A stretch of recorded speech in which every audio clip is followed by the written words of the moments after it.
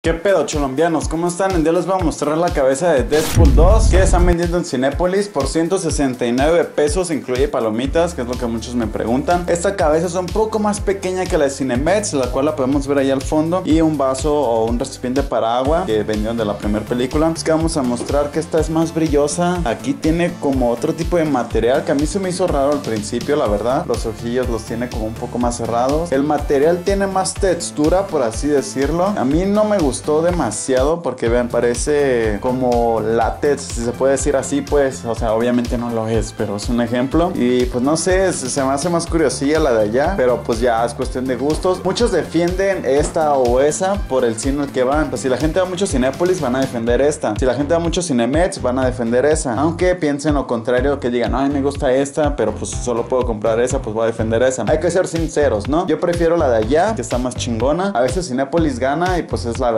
Pero pues aquí siento que ganó Cinemets. Pero pues aún así está chido no tenerla. Aquí abajo vemos que dice Deadpool 2, Marvel, solo en cine, Cinepolis, Sync. Está, esta es un poco más difícil de abrir. Que vean, yo le batallé un poco, la verdad. Pero pues ahí se ve, se puede abrir esta madre. Bueno, está, está muy difícil. La verdad está muy dura.